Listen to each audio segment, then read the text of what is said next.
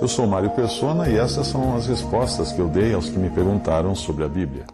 Você pergunta se pode ter certeza da sua salvação se perseverar até o fim. E a resposta é não. Porque perseverança é um processo contínuo. Você não descobriria se perseverou o suficiente ou não até chegar ao final e passar por algum tipo de julgamento divino. Só então você poderia dizer que tem a salvação, mas aí já seria tarde demais para descobrir que faltou perseverar um pouquinho mais. Quando Jesus fala de salvação, ele fala de uma certeza imediata, não futura. Se você observar os tempos dos verbos em João 5,24, verá que ter a vida eterna está no presente, o que garante que tal pessoa não entrará em juízo ou em condenação. Veja a passagem. Na verdade, na verdade vos digo que quem ouve a minha palavra e crê agora naquele que me enviou, tem, tem agora, verbo no presente, a vida eterna. Não entrará em condenação ou em juízo, mas passou da morte para a vida. João 5,24. A sua salvação depende de Cristo, não de você. E a sua parte é apenas aceitar aquilo que Ele quer lhe dar de graça, porque já pagou um preço na cruz, um preço que você jamais seria capaz de pagar. A salvação por graça não é barata. Ela custou muito caro. Barato somos eu e você, que jamais seríamos capazes de atender às santas e justas demandas de Deus. Estarei eu rebaixando a justiça, perfeição e santidade de Deus se achar que as minhas obras vão me salvar. Somente uma obra dele poderia fazer isso. E essa obra Cristo consumou na cruz. Quando perguntaram a Jesus, que, que faremos para executarmos as obras de Deus? Jesus respondeu e disse-lhes, a obra de Deus é esta, que creiais naquele que ele enviou. João 6, 28 a 29. Se você me perguntar se eu tenho certeza de que vou viver 100 anos, eu não posso ter essa certeza. Viver neste mundo é um processo contínuo, como perseverar, que depende de vários fatores e variáveis. Uma delas é eu perseverar em me alimentar corretamente, fazer exercícios, evitar drogas, evitar fumo e outras substâncias ruins para o meu organismo, ficar longe de esportes radicais uh, que tragam risco de vida, etc. Mesmo assim, eu posso pegar uma doença, morrer ou ser morto antes de chegar à idade dos 100 anos. Eu não posso afirmar nada, porque não depende só de mim. Porque além de perseverar em levar uma vida saudável, eu dependo do médico que vai tratar de mim, no caso de uma doença, do freio do meu carro estar funcionando perfeitamente, do assaltante na esquina decidir matar outro e não matar a mim. Eu dependo de outros também. Mas a minha salvação depende só de Deus e de Sua promessa, que é firme e que me dá essa certeza.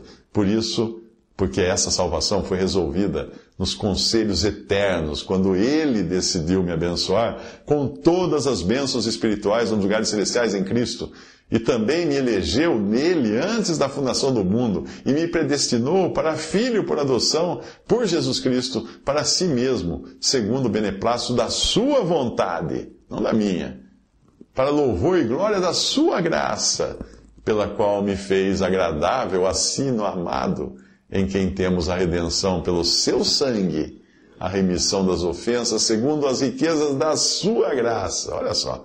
Que passagem incrível. Isso está em Efésios 1, de 3 a 7. Se você reparar nessa passagem, é tudo obra de Deus, não minha. E até quando diz, para que fôssemos santos e irrepreensíveis diante dele em amor, no versículo 4, ele mesmo dá a garantia de que naquele dia eu serei santo e irrepreensível, porque é Cristo quem me faz assim aos olhos de Deus. Veja a passagem. E o mesmo Deus de paz vos santifique em tudo, e todo o vosso corpo, espírito e alma, vosso, e todo o vosso espírito e alma e corpo, na realidade é sempre assim nessa ordem que a Bíblia fala, né? Começando pelo espírito, alma e corpo. E todo o vosso espírito, alma e corpo sejam plenamente conservados, irrepreensíveis para a vinda de nosso Senhor Jesus Cristo. Fiel é o que vos chama, o qual também o fará. 1 Tessalonicenses 5, 23 24. Ou seja, ele me chamou e ele vai fazer isso comigo. Quando chegar lá, vou estar diante dele irrepreensível. Outra passagem? Ora, aquele que é poderoso para vos guardar de tropeçar e apresentar-vos irrepreensíveis, com alegria, perante a sua glória. Ao único Deus sábio, Salvador nosso, seja glória e majestade, domínio e poder agora e para todo sempre. Judas 1, 24 a 25. A doutrina pentecostal é como cigarro. Ainda que você deixe de fumar, levará algum tempo até parar de tossir alguns erros que aprendeu nesse sistema. Se por um lado a ênfase em dons, sinais, maravilhas, poder, tudo isso, né, produzem alguns a sensação de possuírem algo que, de que podem se gloriar, tipo eu falo em línguas, você não. Um subproduto dessa doutrina é justamente essa incerteza que tem pessoas desse meio por acreditarem que a salvação dependa de si e não, não seja totalmente da graça de Deus. Isso é não entender o que foi a eleição antes da fundação do mundo. Quando Deus decidiu por minha salvação unicamente por graça e não por perseverança da minha parte. Se você considera que persevera, só por não conseguir dizer com todas as letras, eu tenho a salvação, eu estou salvo pela graça de Deus. Se você considera que persevera, então você está confiando nas suas obras para a salvação. Aí a sua, a sua, o seu pensar não é diferente de um espírita. Você apenas trocou o bordão espírita, fora da caridade não há salvação, pelo bordão pentecostal, fora da perseverança não há salvação. Se ainda estivéssemos falando da caridade de Deus e da perseverança de Deus, aí estaria correto, pois nós estaríamos falando da caridade de Deus e da paciência de Deus, como em 2 Tessalonicenses 3,5. Estaríamos falando de quando apareceu a benignidade e caridade de Deus, nosso Salvador, para com os homens, não pelas obras de justiça que houvéssemos feito, mas segundo a sua misericórdia, nos salvou pela lavagem da regeneração e da renovação do Espírito Santo, que abundantemente Ele derramou sobre nós por Jesus Cristo, nosso Salvador, para que, sendo justificados pela sua graça, sejamos feitos herdeiros segundo a esperança da vida eterna. 1 Tessalonicenses 3 e 4 a 7. Nisto se manifestou a caridade de Deus para conosco. Que Deus enviou o seu Filho unigênito ao mundo para que por ele vivamos. Nisto está a caridade, não em que nós tenhamos amado a Deus, mas em que Ele nos amou e enviou o seu Filho para propiciação pelos nossos pecados. 1 João 4, de 9 a 10. Muitos pensam que afirmar já ter a salvação aqui e agora é ser soberbo, pretensioso. Mas a questão é que se essa salvação dependesse de mim, ah, sim, aí seria o caso. Eu falo, estou salvo, ah, isso é soberbo. Claro, se eu, pensar que, se, se eu pensar que eu sou salvo pela minha perseverança, se eu disser que eu estou salvo, eu sou soberbo, eu sou orgulhoso. Mas não depende de mim. Portanto, ao não se considerar salvo, mesmo professando crer em Cristo, isso é se achar capaz de atingir o patamar exigido por Deus, usando da sua reles perseverança para fazer isso. Considerar-se não salvo porque vai ser salvo perseverando é não crer no que Deus prometeu. É considerar o seu padrão de perseverança suficiente para salvá-lo, rebaixando assim tristemente o padrão de Deus. Se a sua perseverança é suficiente para salvá-lo, teria ela atingido o padrão de Deus? Lembre-se de Deus, lembre-se de, de, que é Deus o que justifica o ímpio, não o bom, nem o perseverante. Deus justifica o ímpio.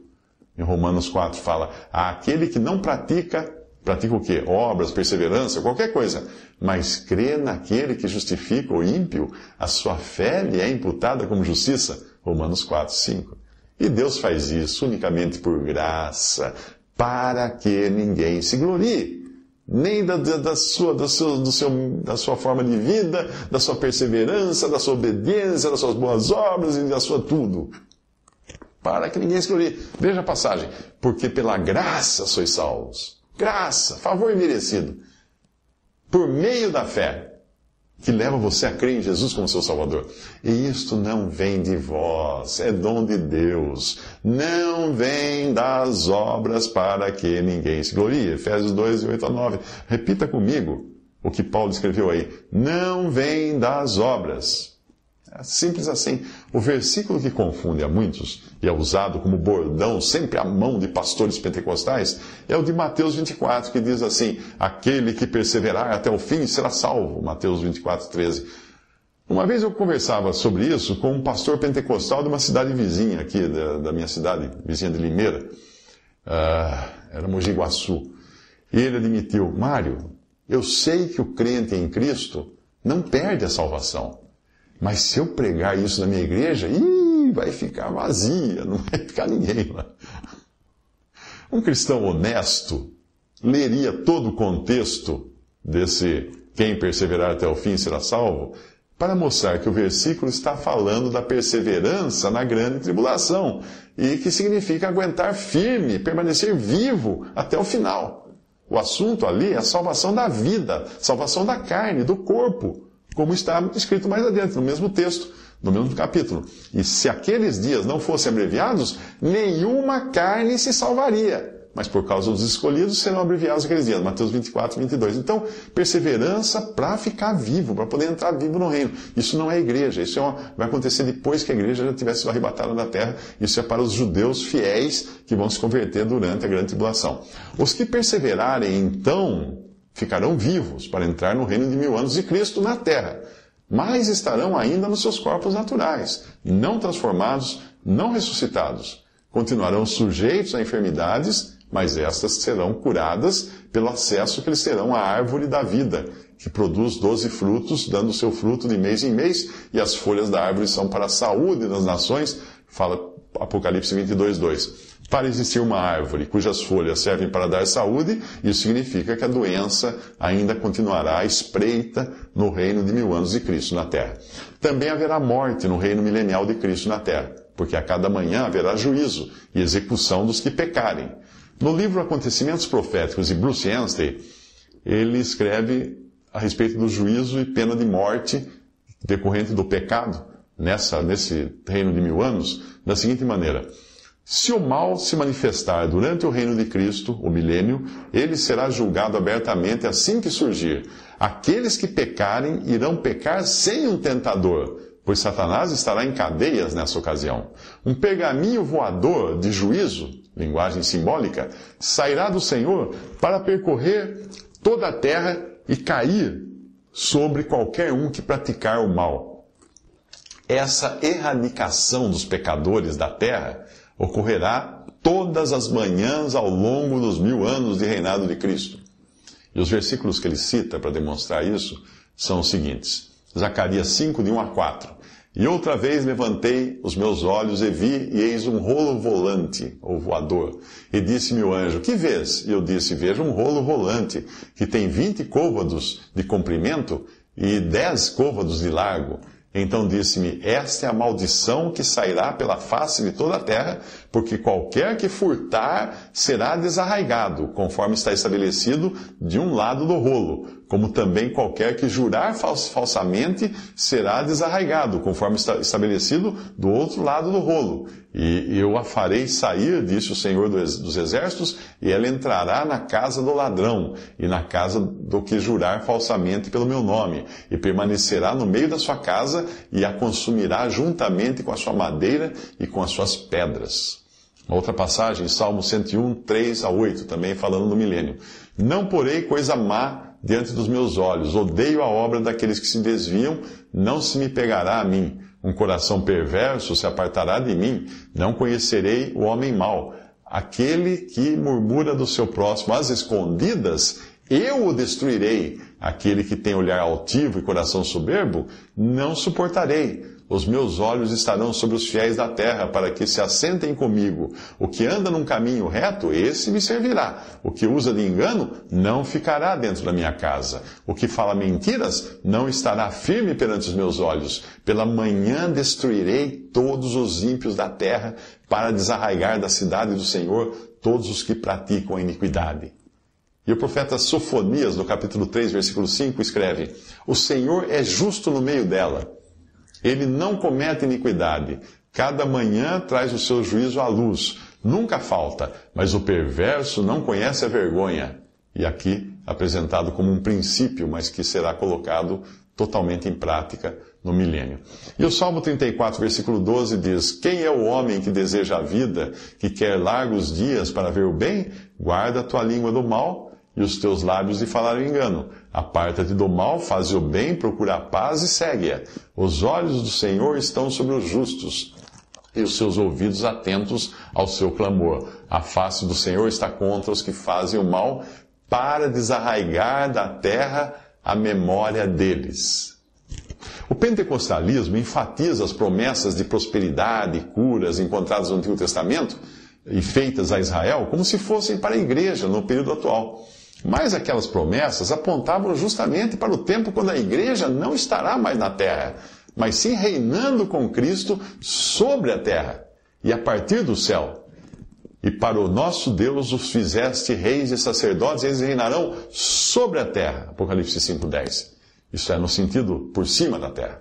E ao mesmo tempo em que uh, a doutrina pentecostal seduz as pessoas com pitadas de prosperidade e orgulho por possuir este ou aquele dom, ela rouba das pessoas a preciosidade de uma salvação já consumada, com a qual o crente pode viver tranquilo, pode dormir tranquilo, pode viver firme na promessa de Jesus de que ele tem a vida eterna e não entrará em condenação, mas passou da morte para a vida, como está em João 5,24. Visite respondi.com.br. Adquira os livros ou baixe e-books. Visite 3minutos.net. Baixe o aplicativo